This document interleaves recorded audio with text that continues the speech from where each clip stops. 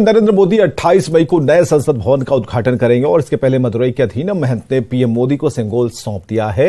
नए संसद भवन में विधि विधान के साथ सेंगोल को स्थापित किया जाएगा। देश भर से जुटे साधु संतों की मौजूदगी में सेंगोल को पीएम मोदी को सौंपा गया। सेंगोल सत्ता के हस्तांतरण का प्रतीक है। चोल साम्राज्य में सत्ता हस्तांतरण में इसका प्रयोग होता था।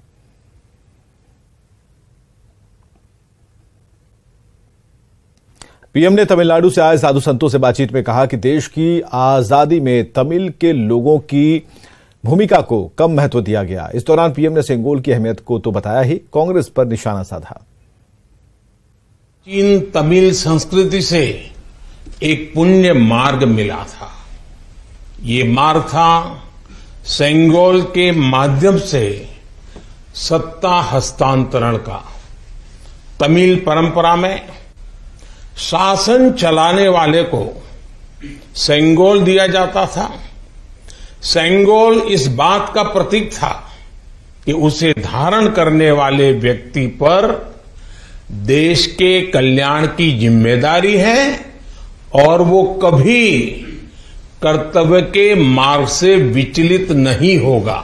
सत्ता हस्तांतरण के प्रतीक के तौर पर तब 1947 में, उन्नीस सौ सैंतालीस में, पवित्र तिरुवावड़ुतुरई आदिनम द्वारा एक विशेष सेंगोल तैयार किया गया था।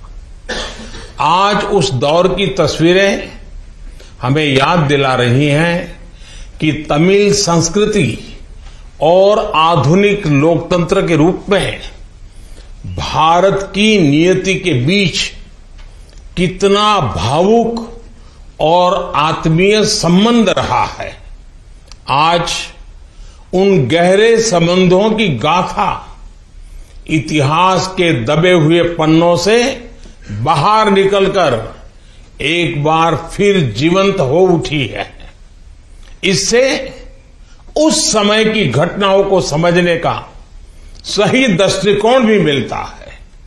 और इसके साथ ही हमें ये भी पता चलता है कि सत्ता के हस्तांतरण के इस सबसे बड़े प्रतीक के साथ क्या किया गया?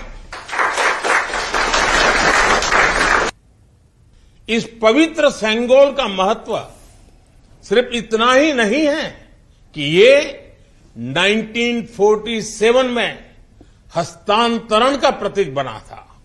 इस सेंगोल का महत्व इसलिए भी है क्योंकि इसने गुलामी के पहले वाले गौरवशाली भारत से, उसकी परंपराओं से स्वतंत्र भारत के भविष्य को कनेक्ट कर दिया था। अच्छा होता कि आज़ादी के बाद इस पूज्य संगोल को पर्याप्त मान सम्मान दिया जाता, इसे गौरवमय स्थान दिया जाता। लेकिन ये सेंगोल प्रयागराज में, आनंद भवन में, वॉकिंग स्टिक यानी पैदल चलने पर सहारा देने वाली छड़ी कहकर प्रदर्शनी के लिए रख दिया गया था। आपका ये सेवक और हमारी सरकार, अब उस सेंगोल को आनंद भवन से निकाल कर लाई है।